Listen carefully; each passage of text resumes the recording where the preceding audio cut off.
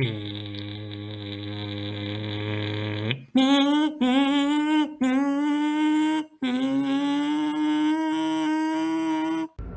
got a Hobao Hyper ST. Welcome back to Corporate Nitro. Corporate Nitro. Oh, hi there. I uh, just noticed that you're praying. Do you mind if I ask what you're praying for? Are you praying for another successful vintage Nitro restoration? We got a Hobao Hyper ST Truggy with the LRP ZR30 engine. Corporate Nitro, and we are back with one of the best truggies in the world, the famous Hyper ST. This has got a reputation for being an absolute tank. They really are bulletproof. This is the standard version. This is not the Pro. If you've been watching the channel, you know that I've already got a Pro in brand new condition. I did the break-in. I did a full strip, every single nut and bolt, and then put it back together. Reason I did that was because the chassis was just caked in oil and dead insects from sitting in someone's garage and I wasn't happy with uh, the condition and I really wanted to know what it would be like to build it from kit so I decided just to take it apart and um, it was a great experience great to get your, your teeth into a Hobao Truggy so now we've got a standard version and uh, a friend has rung me up and said can we put this back together for him using what's been included and let him know what is missing so we can work out what it's going to cost to get this running again. Is it going to cost too much? If it's just a little bit of money, we're going to buy the parts. If it's a lot, we're probably just going to sell it. So, uh, what's in it for me? Why do I do this? Well, I'm passionate about Nitro and especially Hobao. And uh, he's looking after me. He's giving me a few fluids here, some Loctite, some uh, Losi shock oil and some Hudy air filter oil and also some differential oil. We've got like a 6 and a 10 and a 50k as well. So we've got a chassis but not much there. So are we missing an engine? Yes we are. We've got an LRP ZR30 which is a got a reputation for being a powerhouse. We can see uh, the Venturi and that's like a restrictor. I've never seen one of these before actually. So we'll have some fun cleaning this up. I think the flywheel is a little bit a little bit loose. Might have to tighten the flywheel, but the clutch feels good. And uh, what's all this tape on here? Is it is, is, the case cracked, or is he just trying to keep uh, air out of the back to keep it clean? I mean that doesn't really make sense because the Venturi is exposed, and I can see uh, bits of air filter just sitting there. So we'll have to put a clean that up. Speaking of the air filter, that's what's left of it. It's just uh, air filter cake. So we're gonna have to clean that up uh, and definitely get a new one. Actually, I think I got one of these spare. So we, we do have the servos. We've got two radio trays, which is good because I can see that it's not here. Um, the fuel tank is a triangle shape. I know that goes there. Uh, we've got the pipe and the header to match the engine. That's good. We've got the uh, radio box and we've got the battery cover for an external um, stick pack if we're using a stick pack. But um, this one's using a hump pack, so we wouldn't be able to use the cover. We would have to just probably zip tie this next to the battery box if we're going to use the hump pack. So what's missing? Uh, we've got a, a brake linkage or a throttle linkage there, but only one. Uh, we've got steering linkage. So the only real thing that's missing, we need another one of these. Otherwise, we're not going to be able to hold the steering servo down. Uh, the second one of these is a little bit different shape. Um, from memory, it goes, it's got a top piece as well. It sits underneath the aluminium uh, and that stops the, the servo going all in different directions. So it's mostly complete. It's even got the air filter hanger there as well. Uh, all the brakes are there. We just need these rods uh, going to the throttle servo. That's all because uh, I can only see one linkage here. Uh, we've got the linkage for the uh, carburetor, the throttle rod. But yeah, with only one linkage there, I'll have to go through my spares to see if we can find another one from the Hyper 7 spares and uh, see if we can make that work. But other than that, from memory, I don't think there's anything else missing at all. It all seems to be there. The front clip looks fantastic. Now, something interesting about the front is the tower is aluminium, very thick aluminium. Is that standard on the Hyper ST or is that a piece from the Pro? I got a feeling that's a piece from the Pro because on the back we can see it's all plastic. Definitely it's plastic. And then if we look in the box, look at that. We've got a, a rear shock tower from the Pro. Okay, so it looks like this was never fitted, but it was kept as a spare ready to go. Did he smash the front end and break the plastic and upgrade it to aluminium, or did he just put aluminium just to be safe? So maybe we'll put the, the, the Pro piece on with a thicker aluminium. What's interesting about these is that the first version of the Hyper ST Pro came with 8mm thick aluminium shock towers. The second version of the Hyper ST Pro, they reduced it to 6mm shock towers. But the standard version of the Hyper ST always had plastic shock towers. So in my opinion, that is an upgrade. And the uh, the original is has probably been smashed to pieces, which is why it's not in the box. If you want to make a little custom plate for your Hyper ST and uh, for your electric, you don't need throttle servo here. So you can either cut it off there, but why cut it off? Just make another one so that you can return the car to Nitro and sell it again one day if you want to. Your standard version shock towers has got the body mounts integrated into the shock tower. Now if we upgrade to the Pro version shock tower, 6mm aluminium, then what we need to do is buy 68214 body post. Otherwise you've got nowhere to mount the body. All right so we went through the screws that came in the box and then we also had to go through some of my ones. And then we found enough nuts and enough washers to get the engine mount screws on both sides. That's a good start for the day.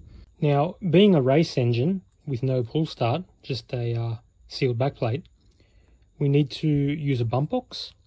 So we need to rotate the flywheel to start it.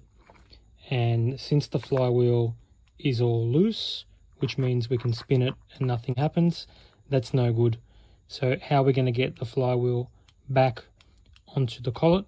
It seems like there's a lot of dirt there. It's probably not gripping very good. So we can either push it down like that and hope that it grips,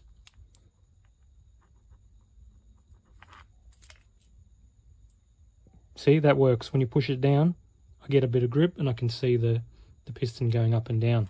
But is it going to stay on there? So normally you tighten up the clutch nut harder to get a really good grip, but I can't get to the clutch nut. So I might have to take this apart and have a good look at it. Alright, first thing that I notice is a four shoe clutch, which I've never seen before. I wouldn't even know how to get it off. Um, there you go. There's no clutch nut on there. That's why it's loose. So we need to put a clutch nut on there and get that clamped on. I've only got two clutch nuts uh, available in my collection, so I think we'll go with the more round one. Actually, we're going to have to go for the skinny one, because if I use the fat one, then my tool is too fat to even get inside the hole here. So, sorts that out. Now, I didn't really have much luck with the clutch nut, so I grabbed the fat one and put it on backwards and there's just enough meat hanging out for me to grab it with the uh, the fat end of the driver. So, uh, wrench. So we've put some Loctite. We've left a little bit of play there, just so, see that lateral play, so it doesn't grab. Anyway, it's time to put the engine mounts on the engine. Uh, otherwise it'll be impossible to get it on the car. So what we'll do is we'll remove the mounts from the car, put them on the engine, and then bring it all back and do it up and reset the mesh.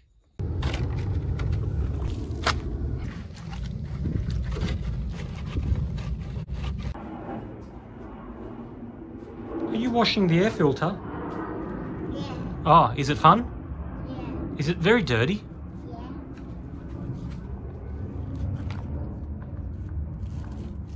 Are you washing the pipe? Yeah. Oh, thanks.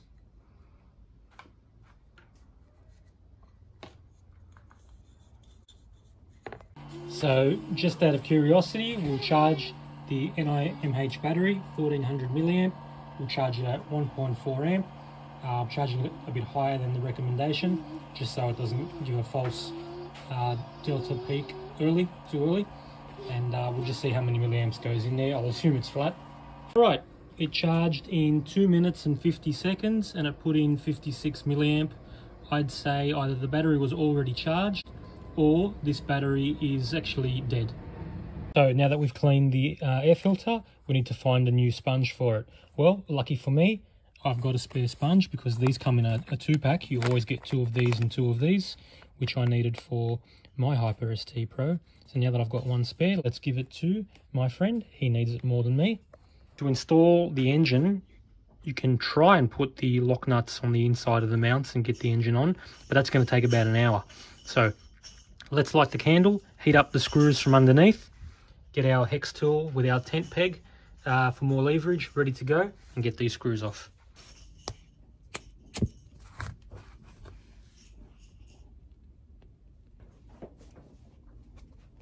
We have to get on our knees, pray to the nitro gods that we don't strip any screws. Say a little prayer for Hyper ST.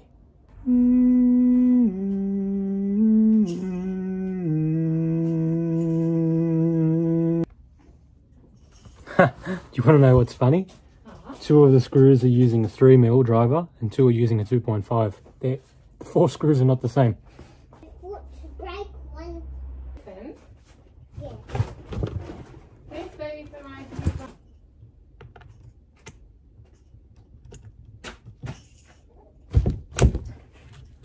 The uh, carburetor is pretty dirty, so uh, just give it a flush with water and then take it apart, oil it up with some after run oil and put it all back together.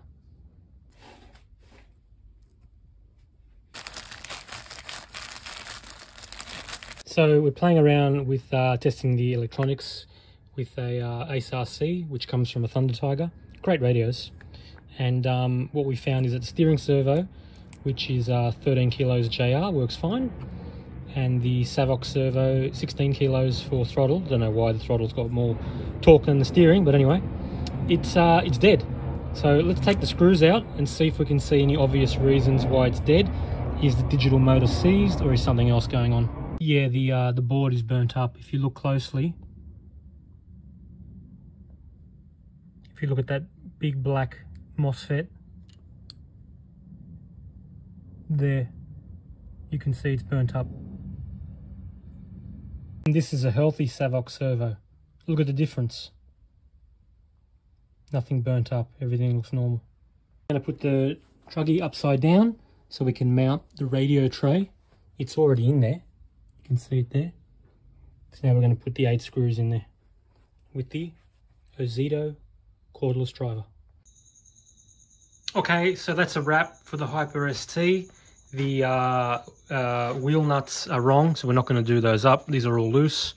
Uh, we don't have the correct uh, bump starter for a truggy, so I can't start it up anyway. Um, the steering servo is good. It just needs to be reconnected, but uh, this tray is all loose because it needs to be removed because the throttle servo is dead and needs to be replaced. Uh, the linkages need to be ordered for the brakes and the missing piece to hold the servo in and the radio tray down needs to be ordered. So without that, there's no point doing all this up. And a few other things as well. It needs a battery, it needs a, a radio, and um, got the air filter ready to go on there. So it's almost finished, but uh, still very far away from running. Uh, the Hyper ST is a great truggy. This is the first time I've seen the standard version. So that's an upgrade being metal. That's an upgrade being alu as well. And uh, that's the standard shock tower, of course. All right, so let's pack this up and uh, take it back to our friend.